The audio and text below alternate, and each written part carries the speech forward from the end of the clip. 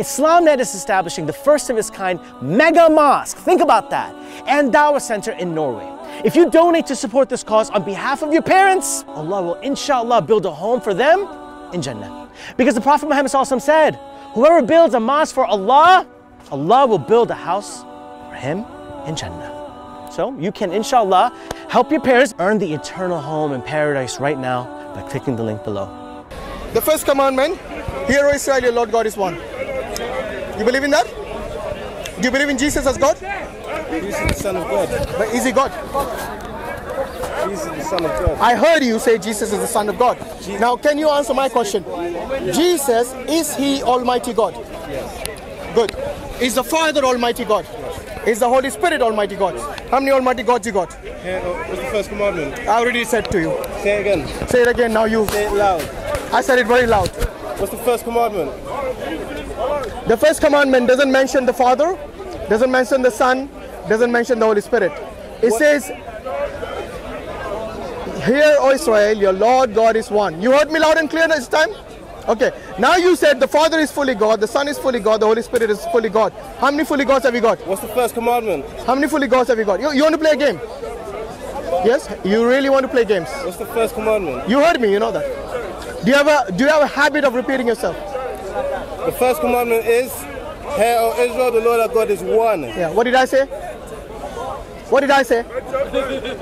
What did I say? What's the first commandment? No, what did I say? I don't understand. You don't understand English. Which language do you understand? Calm down. I'm calm. What's the first commandment? What did I say the first commandment was? What did I say it was? Either you have a problem hearing or you have a problem comprehending. Which one is it? Okay. I asked you which God did Jesus believe in? You said Jesus believed in God. Yes? Did he? You said the Father is fully God. I have no issues with that. You also said the Holy Spirit is fully God. Yes? Is he a true God? Yes? Who did Jesus say is the one true God? Yes, yes, he is. What's the first commandment? Who, you really want to play games, don't you? You know the reason he's saying this is because he either doesn't read his Bible.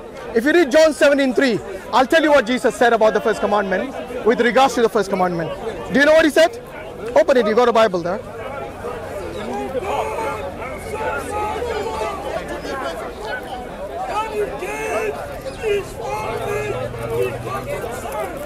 So everybody who knows this particular passage in first sorry in John chapter 17 verse 3 do you want to read aloud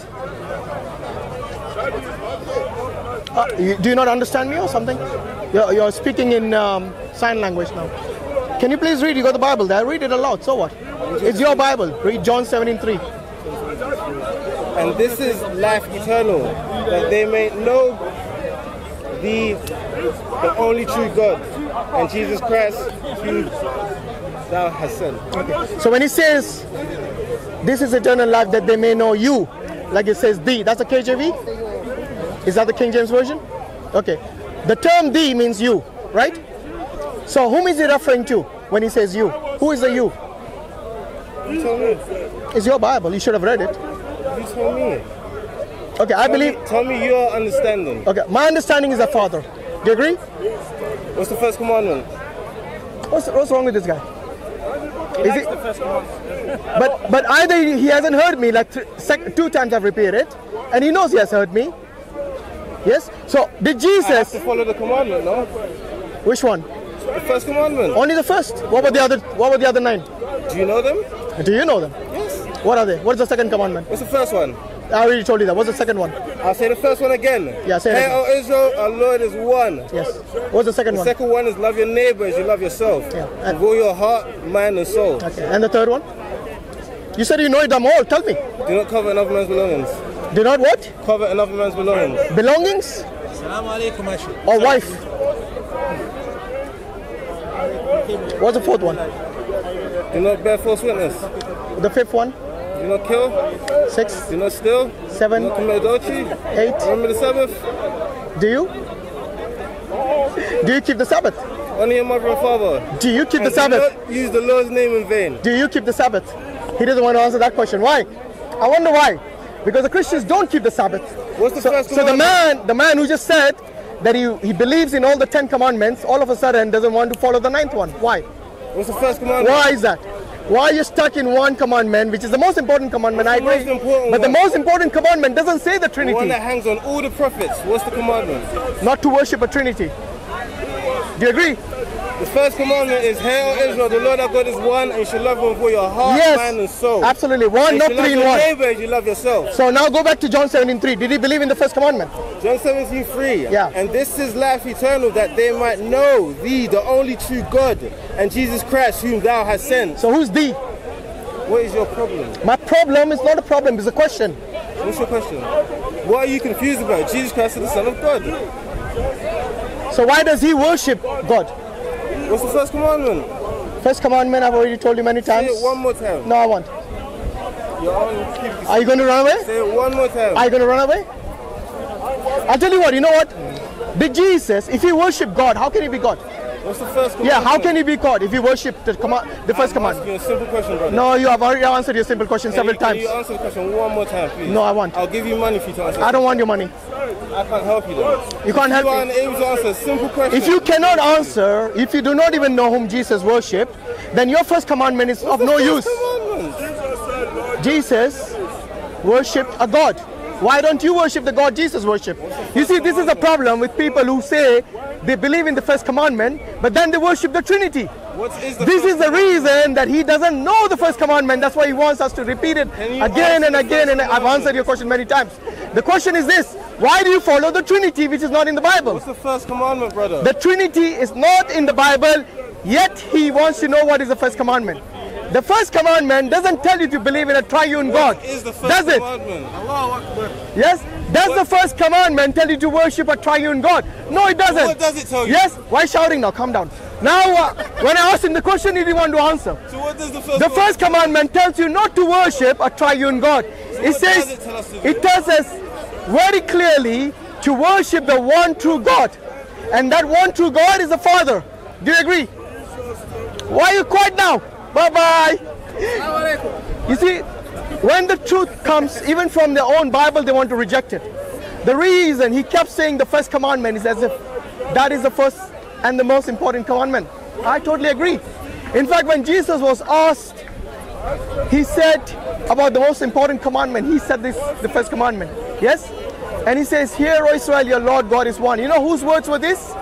These were the words given to Moses, the one that Jesus repeats in Matthew 12 29. This is called the Shema. The Shema, it says Shema Israel, Adonai Eloheinu, Adonai Ahad. This is the Shema which he kept saying the first commandment. He did not tell you to worship a trinity like the way he uh, admitted he did. God did not tell you to worship a tri- triune God. And this is the clear message of Jesus Christ. Like you said, this was the message of all the prophets. I totally agree. All the prophets told you to believe the one true God. And who's the one true God? Not the Father, Son, and Holy Spirit. Yes? It wasn't somebody who was a human being. It wasn't someone who was a created being like Jesus Christ. It was the God of that created being. It is the God of all created being, including you and me, and Jesus, and all the prophets. Yes? And this message is found, this Shema of, of Jesus, this testimony of Jesus, is found in John 17 3, which he didn't want to understand even. When he says, This is eternal life, that they may know thee, that they may know you. Who is the you here? The you here is not the Trinity, it is only the Father. No wonder he wanted to evade that. Yes? And this is exactly the message. Even the they say they follow Jesus, but they refuse to actually believe in the testimony of Jesus. That's the reason I say that these people are not the followers of Christ, but they are antichrist. They oppose Jesus. Exactly, yes. So not everyone who calls me Lord, Lord will go to the kingdom of heaven, but only the ones who go on. You know your Bible? Only the ones who do the will of the Father. He didn't say those who do the will of the Father, Son, and the Holy Spirit. No. He says only those who do the will of the Father. Many people will come and tell him, Did I not cast out the demons in your name and, and uh, I don't know, uh, uh, basically do miracles in your name and do X, Y, Z in your name?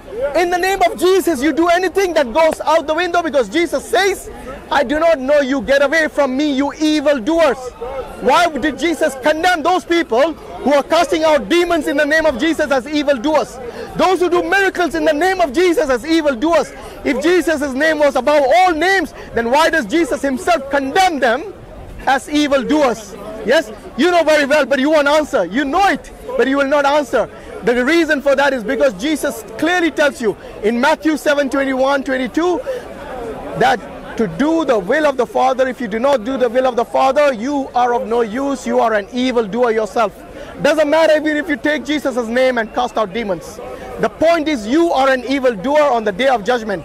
So do not take the risk, my dear Christian brothers and sisters. Do not take the risk and put yourself and be condemned as an evildoer on the day of judgment and to be cast out into hellfire. Because that is exactly what's going to happen if you worship a human being like Jesus Christ. Jesus himself, if he was your God, ask yourself this question Who is the Almighty God? The God that you worship as Jesus, or the God of the God whom Jesus himself worshipped? This is a key question you need to ask yourself. Yes? That the God of your God is clearly the one, one who is Almighty God. Yes. The God of Jesus, God. the God of Abraham, the God of Jesus, the God of Abraham, the God of Muhammad, the God of the God of Muhammad and the God of all the prophets. His name is Allah subhanahu wa ta'ala. Jazakallah khairan. Assalamu alaikum wa rahmatullah. Sorry about those um, nasty words in there, but I hope these guys they, they censor it or something. Okay?